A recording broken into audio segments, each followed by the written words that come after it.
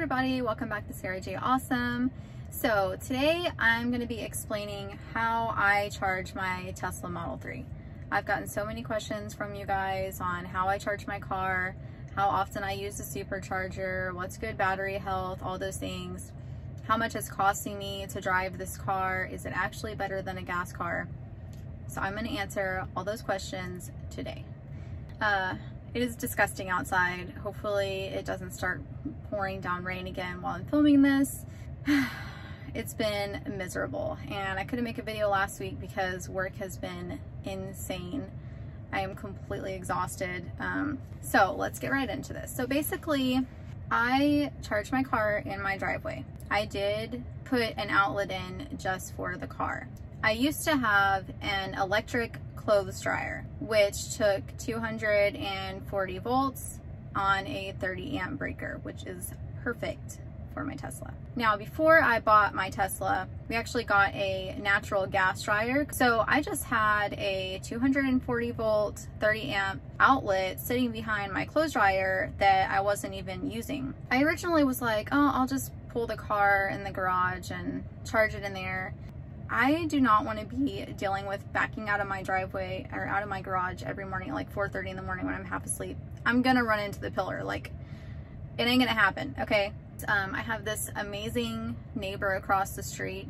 He's a retired electrician. Him and his wife are like family to us. And, you know, I was really excited about the car before I got it. And I told him everything about it and told him how much an electrician was going to charge me. Basically, to take that outlet and extend the wire through the attic down um, to the pillar. And then for supplies, it's a 10 gauge copper wire because we use the 30 amp. So what I did was we basically just um, disconnected that outlet behind the dryer and took that wire and then we added some more 10 gauge wire to it and extended it up through the attic, up across the garage, and then to the front of the garage right here, which I'll show you guys. So that is the wall outlet that I use. It's all weather.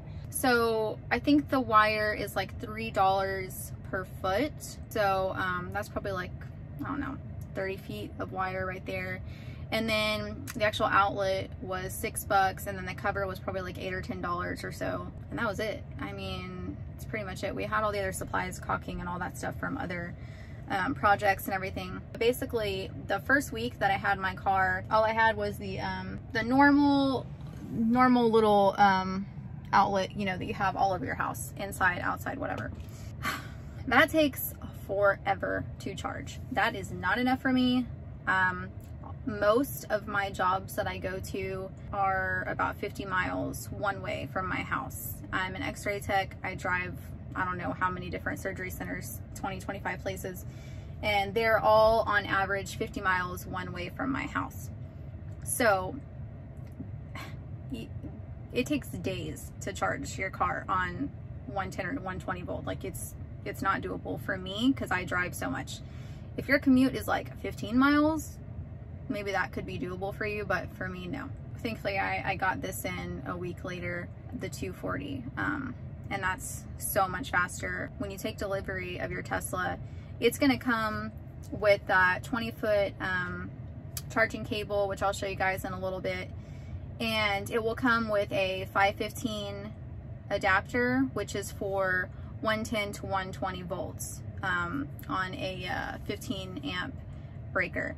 And that, um, that charges three miles per hour charge.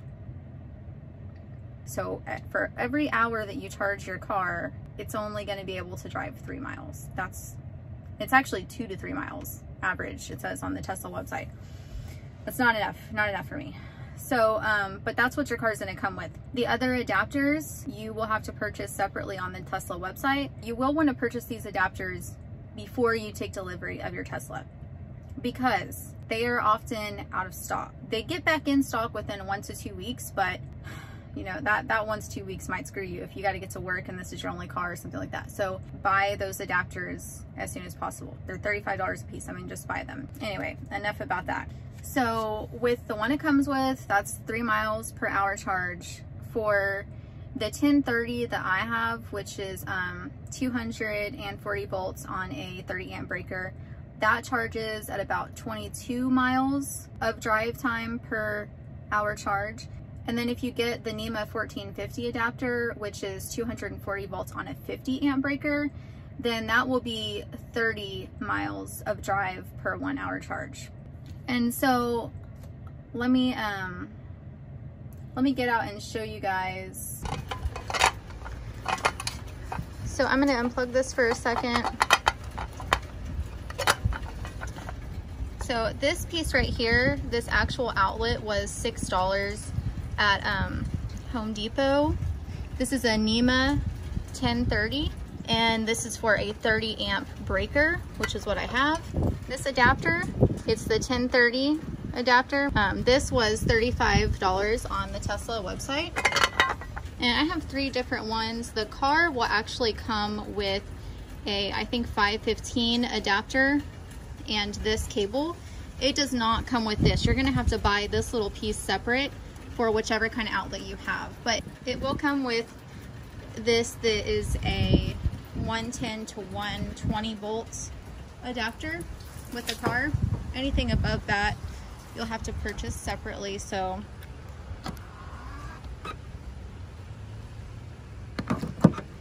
Okay, so we are waiting for the green light here. When it's white, you can plug it in or unplug. Blue, it's waiting. Green, it's good to go and it is charging. So that's what it looks like with my outlet. Um, and then this is what it's gonna look like in the car. So I have my battery set to charge up to 90% battery daily. That's what you want for a healthy battery. You don't wanna charge to 100% every day. So this is where I have it set at 90%. So it's gonna stop charging when it gets to 90. Right now we're at 68% battery and it's gonna take two hours and five minutes to get back up to 90%. So if we average that out, we'll say for 20% battery, basically 70 to 90%, it takes about two hours. Supercharging, um, you know, it'll tell you how much it would cost at a supercharger. It's more money at a supercharger because it's more volts. It's gonna charge way faster. Well, we're talking like way, way faster, like an hour for like a full charge. And here it takes like 11 hours for a full charge from zero to 100. So at superchargers, you're basically paying for the time. You're not having to waste so much time charging. And if you use your referral codes and, you know, use someone else's referral um, link when you buy your car, you get a thousand free supercharge miles for a year. Um, and then once you purchase a vehicle, they'll give you your own referral link that you can give to other people. And then if someone else purchases a Tesla and uses your referral link, then you get another thousand miles. They get a thousand, you get a thousand. So thankfully, um, one, I was able to use someone's referral link when I bought mine, so I got a thousand.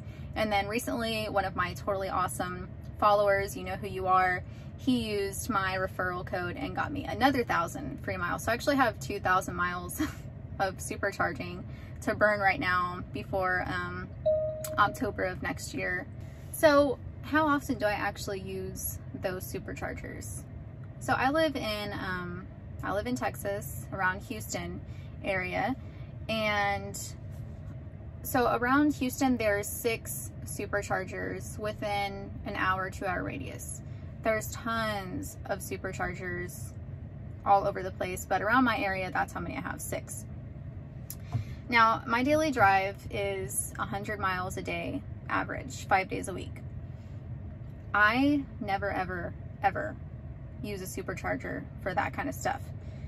I literally charge my car at night while I'm sleeping, have it set to 90% battery. It's at 90 when I wake up in the morning. I leave, go to work, come home. I've driven 100, 110 miles. And then I just plug my car back in when I get home. I have only charged a supercharger three times since I've had my car, two, two and a half months, um, and I've only used a supercharger three times. It was important to me that the standard range plus one, I mean, I don't want to take time out of my day to go charge at a supercharger every day. I don't want to deal with that at 5.30 p.m. in rush hour traffic every day like that. I do not want to add that. Um, I only charge at home. That's it. I don't go to the gas station. I don't go to superchargers. I don't charge anywhere else. On the weekend, um, I charge at the mall if I go. Of course, you know, with quarantine and everything, we're not really going to the mall much, but but that's super nice because all the EV charging slots at the mall, I think there's there's about four to eight at each mall that I've been to around here. And they're always in the very front of the parking lot, like the very front parking spots. I get um, up front parking now at the mall. It's a two hour limit at the mall, but um, honestly, like there's never anybody parked in them. I've started seeing more EVs now, but I've never seen all of the slots full. So honestly, you could, since there's not people waiting to use those charging stations, like you could go shop for two hours and then come back out. There's plenty of spots available. So then just go move your car to another one and plug in for another two hours. So you can sit there and charge, you know, while you're shopping all day. Um, as long as you're not being I mean, there's no people waiting. I'm not talking about do this if there's like other people trying to get into the spots, but but it's it's so nice. I mean, on the weekend, I don't even pay to charge my car at home. Like I just charge for free when I go out places. So let's get into how much this is actually costing me. This is the September edition 2020 Tesla Model 3 Standard Range Plus. This is about a 50 kilowatt hour battery pack that's in this car. Here in Texas, on average, the electricity is 11 cents per kilowatt hour. So because my car is 50 kilowatts and I'm paying 11 cents per kilowatt hour with my electric company, basically charging my car from zero to 100% cost me about $5.50. And for the range on this battery, on the sticker, it said 250 miles for a full range um, from zero you know, to 100%. That's how far I can drive, 250 miles. So basically for 250 miles of driving, with me charging only at home, I'm paying $5.50 on average for basically a full tank. I drive 50 miles to work on average, 50 miles back home. So that's 100 miles per day. So at 500 miles per week for me, that's 2,000 miles a month that I'm driving with this car. 2,000 miles per month divided by 250, you know, miles in each tank really, or each full battery. I am basically filling up eight times a month. So eight battery packs or eight full gas tanks basically um, for me to drive 2,000 miles a month. That's costing me $44 a month in electricity. So essentially $44 a month to drive this amazing freaking sports luxury car versus, you know, gas in a car. I don't even know how much that was costing me a lot, especially in the truck. Like it was costing me like $46 to fill up every other day. Like it was ridiculous. I, it's, it's crazy how cheap this car is to drive. You're almost paying nothing to drive these cars. There's no oil change. There's I mean, I don't even use the brakes when I drive. I just use the regenerative braking, which is so nice to me. It's it's freaking amazing. I don't I don't think it's necessary to get um, one of the Tesla wall adapters where it's like looks really cool. It's all glass and says Tesla on it. Those are like $500 a piece the last time I looked anyway. And it's basically the same exact thing that I have. It's the same thing. You can have, um, you know, this wall connector here for, you know, six bucks for the outlet and then $8 for the cover.